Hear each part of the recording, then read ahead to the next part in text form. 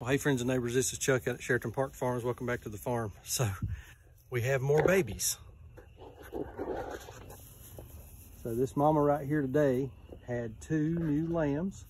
Uh, they weren't in the barn uh, when we came down and checked this morning, but then later on this afternoon, um, they were out in the field together.